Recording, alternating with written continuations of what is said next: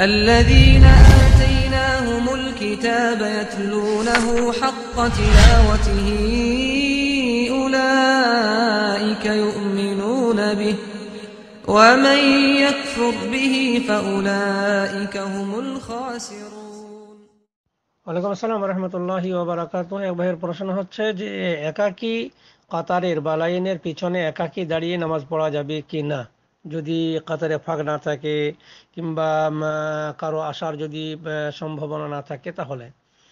ভাই আপনি আপনাকে একটা ফতোয়া শোনায় তাহলে বুঝতে পারবেন যে লা ইয়াজুজু লিল মুসলিমি ইউসাল্লিয়া খালফা সাফে ওয়াহদা।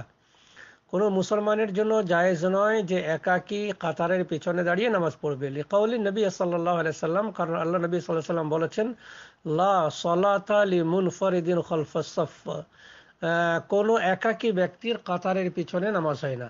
কাতারের পিছনে একাকী ব্যক্তির নামাজ হয় না। এটা হাদিসটা হচ্ছে মুসনাদ আহমেদের হাদিস, যে পনেরো হাজার সাতশো আট নম্বর হাদিস।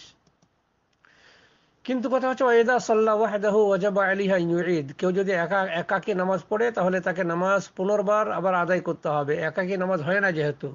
লিহাদ আল হাদিস, এই হাদিসের কারণে। ওয়ালিল হাদিস ইল্লাদি যাকারতু ফি জি। ওয়ালাইসালাহু আন ইয়াজুররা মিন আস-সাফি আহাদান, এবং কাউকে আপনি টেনে নিতেও পারবেন না।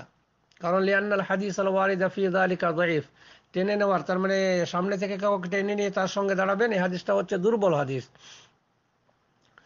তবে নিয়ম হচ্ছে ওয়াইলাইহি আইয়ালতামিসা ফুরজাতান ফি সাফ সে চেষ্টা করবে যে কাতারে কোথাও ঢোকা যায় কিনা, কোনো ফাঁক ফোঁক আছে কিনা, সেটা চেষ্টা করতে হবে, হাত্তা ইয়াদখুলা ফিহা যাতে করে সে মানে কাতারের ভিতরে ঢুকে যেতে পারে।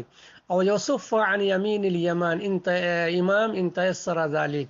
আর যদি সম্ভব হয়, তাহলে ইমামের ডান দিকে, ইমামের ডান দিকে যদি জায়গা থাকে, তাহলে ইমামের ডান দিকে আপনি জি, কাতার পার করে ইমামের ডান দিকে আপনি দাঁড়িয়ে যান। ফাইল্লাম ইয়াতায়াসসার লাহু জালিকা ইনতাদার ইন্তাদার যদি এটা সম্ভব নয়, তাহলে সে অপেক্ষা করবে।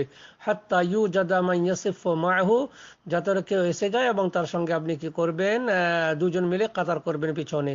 ওয়ালাউ ফাতাথু রাকা যদিও এক দুই রাকা ছুটেও যায়। হাদা হুয়াল আসাহ মিন কওলাই উলামা, এটা হচ্ছে ওলামাই কেরামদের ওলামাই কেরামদের অভিমতের সব থেকে সঠিক মত। বিদায় বুঝতে পারা গেল যে একাকী পিছনে দাঁড়িয়ে নামাজ হবে না।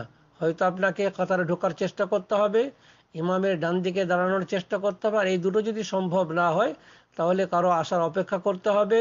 যদি আপনার এক রাখার দুই রাখার ছুটে যায়, আর যদি তাও সম্ভব না হয়, তাহলে আপনাকে দাঁড়িয়ে দাঁড়িয়ে নামাজ ছেড়ে দিতে হবে, জামাত ছেড়ে দিতে হবে।